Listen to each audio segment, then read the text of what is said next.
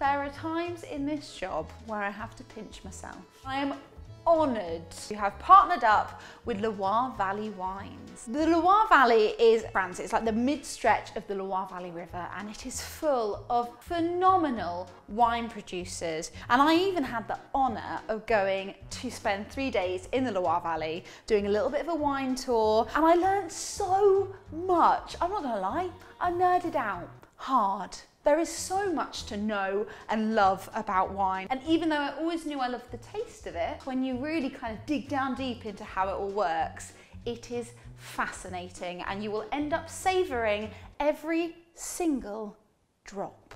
So today I'm going to give you a crash course in the very, very basics of food and wine pairing because I've reached that age I now don't just order the cheapest off the menu. I actually look and go, oh, let's see, a little Sauvignon Blanc there, is there? From the Loire, don't mind if I do. Probably a bit acidic, probably some fresh kind of limey citrus notes there.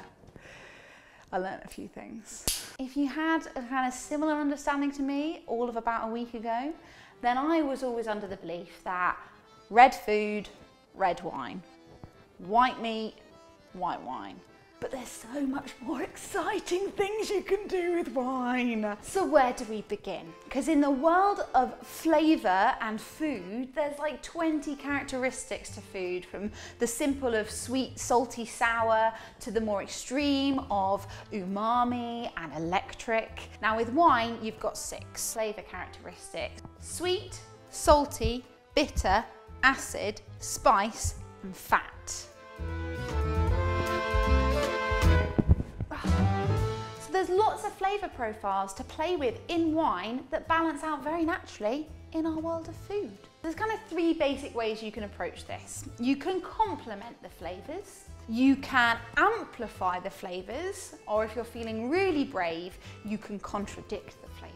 If you want to complement the flavours in your dish, then you might want to try and balance them out a little bit. If You've got a very fatty dish, such as a mac and cheese, then you might want to get a nice acidic wine that's going to balance and complement those flavours out. Or you might want to amplify. Say you've got a gorgeous citrusy Sauvignon Blanc, then actually having like a lovely citrus dessert or a citrusy salad, that's going to work beautifully too.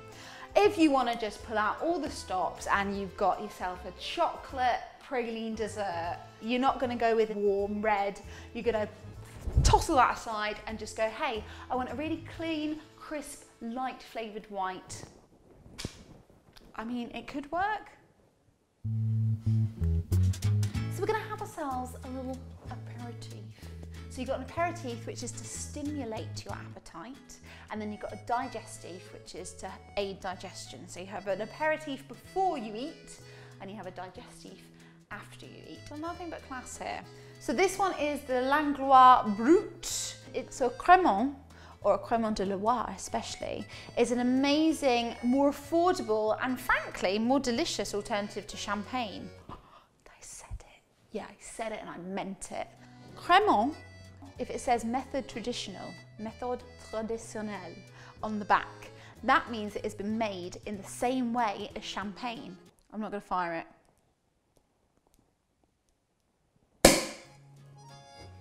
Plus all those little bubbles getting excited, being like, free me. Can I just actually disclaimer? I'm not a sommelier. Shock, no surprise there.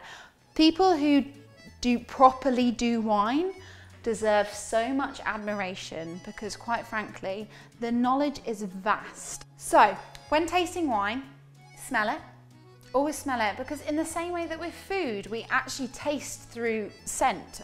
I'm getting a bit of an orange but also a bit like a nectarine actually. Unripe, it's kind of that unripe scent.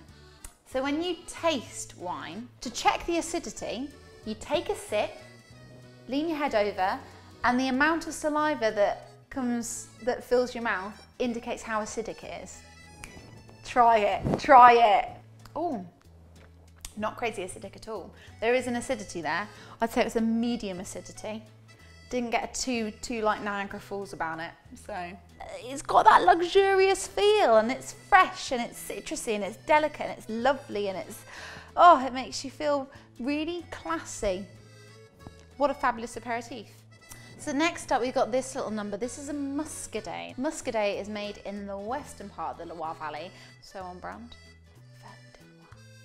So muscadet normally has quite a high acidity, very citrusy notes, and the lovely freshness of muscadet lends itself really, really well to salty seafood. So we're talking shellfish. And in moules frites, which is what I've prepared for you today.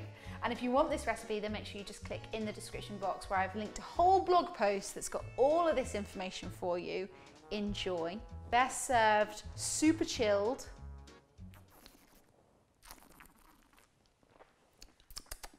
That's not just for show, that's to oxidize it and to like just bring out all those flavors. Oh, that's so lovely.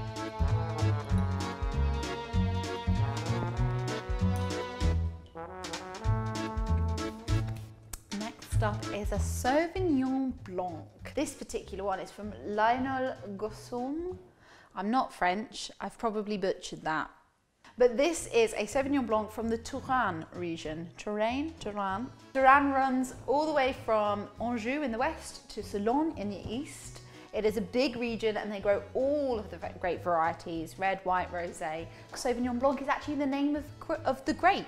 This might sound really silly for anyone who is a bit of a wine connoisseur out there and knows. I wasn't aware that Sauvignon Blanc was the name of the actual grape. I just assumed it was like a, a style of wine rather than the name of the grape behind it. But yes, this is a Sauvignon Blanc grape. Sauvignon Blancs are naturally quite herbaceous which is lovely for anything kind of salady. But try a Sauvignon with your cheese platter. Instinctively, we serve like red wines and ports with cheeses. They can kind of take on the powerful tastes of like a really mature cheddar or a nice smelly Stilton. But I find that a lovely white, like a Sauvignon, is fantastic at clearing the palate and just kind of freshening everything up in the richness of all those cheeses. So I highly recommend. I feel like that was very articulate. I don't know where that came from then. We, however, are still on our main course right now, and so I've got a delicious goat's cheese tart here. That saltiness is going to balance beautifully those lovely, vibrant, seasonal, almost slightly bitter, green, herbaceous notes. Perfect. That, that is where wine and food is really clever, okay? Separately, that goat's cheese is very much salty, there's a creaminess in there. This is quite acidic. Yes, you get the fruitiness, but when it comes together, that harmony, all of a sudden, that tastes almost like a goat's cheese and caramelized onion tart just from playing with those fruity notes in the wine. And equally, all of a sudden, that acidity is dampened down by the goat's cheese and there's a creaminess that comes through in the wine. Oh, I love this discovery. Wine and food, I get it, I get it now. Oh, you can never go too wrong with a rosé and a dessert. A rosé is not made by mixing white and red grapes. A white wine you use white grapes. A red wine, you use red grapes. A rosé, you use red grapes. This is like traditionally. The difference between the colours in a rosé and a red are to do with the skins. So with a rosé of this colour, where it's a slightly deeper blush, they'll basically squish down the juice out of the grapes, let the skins be there for a little bit, and then remove the skins off before they start the kind of fermentation process and everything. With a red, they leave the skins throughout that process so the colour really deepens and darkens. And then sometimes when you get those really, really light rosés, those are made by just literally skimming the skins off almost instantly, not even letting them fall into the juice of the grapes. Here we have a Rosé d'Anjou, classic fragrance and well balanced. Quite summer notes to it. There is a lovely viscous texture to this rosé, which is gonna play perfectly with our poached pear. Poached in the flavors of cardamom, of star anise, of cinnamon, that syrup has thickened and it's gone glossy and it's got its own kind of syrupy coating as well, playing around with the textures of both the food and wine. They're not delicate spices. Cinnamon has a heat to it, has a punch, it has a pepperiness. Because this has a very almost like unripened fruit flavour to it, all of a sudden it's brought back, that pear is lured back into the flavours of that dish. Oh, it's clever, it's like science food and wine science. So there you have it, like a little crash course in food and wine pairing. I have loved this partnership with Loire Valley Wine. So thank you so much to them and every producer who is there making amazing, amazing wines in the Loire Valley region. The Loire Valley, I kid you not, is a well and truly bucket list destination, whether it is for wine or food or for just the experience. I could not urge you enough in your life to go and do a Loire Vine Valley Vine Valley. the things you can do and see and drink on such a reasonable budget. And the Loire Valley is frankly beautiful and doing some really amazing and exciting things with wine. If you want to see more about the recipes today, the wines of today, or anything Loire Valley, then make sure you click all those links in the description box. There is a lot of information there that I urge you to have a gander at. And thank you so, so, so much for, as always, for watching. Cheers!